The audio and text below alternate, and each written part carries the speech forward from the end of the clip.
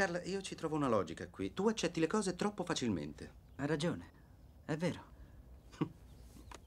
Visto, l'hai fatto di nuovo. Ho suggerito una cosa e tu subito d'accordo. Ha ragione, è vero. Perché ti comporti così? Non lo so.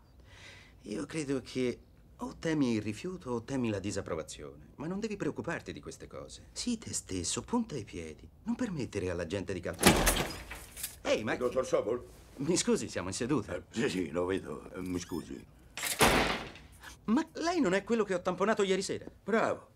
Levati di mezzo. Cosa? Su con le chiappe. Dottor Se no Sobol... un cappotto il matto. Ehi, ma che sta facendo? Sta uscendo. Non va da nessuna parte finché non ha finito la seduta. Ti do 100 dollari se ti levi di mezzo. Non li prendere. Carl. 150. Ma cosa fa? 300. Carl! Non è mica tanto matto.